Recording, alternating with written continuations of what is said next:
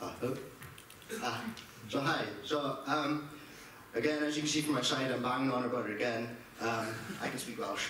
So um, I'm going to talk to you about a project that I'm going to be doing over the summer, which is creu adnoddau cyfrwng Cymraeg cyntaf ar feddalwedd, cynaliadau ac ymchwil algynyrchiadau.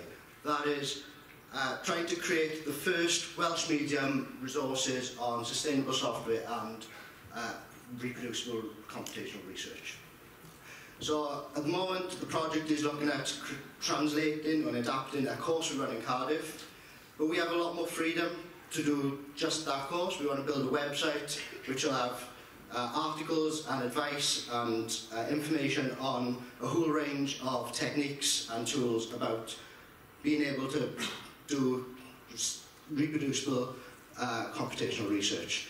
And this is where I want your help, I want expert opinion, which is you, to advise me on what content should be going in here. So at the moment, our, our materials have been adapting covers best practice in coding, version control, and the command line. But I know there's a lot of stuff we've missed out there. We not, we haven't looked at um, citing software, we haven't looked at anything open, and I my Twitter's on there and you can find my email and you can grab me in the corridor. I'd really like you to come up to me and go, this is really important, Welsh people need to know about blah, blah, blah.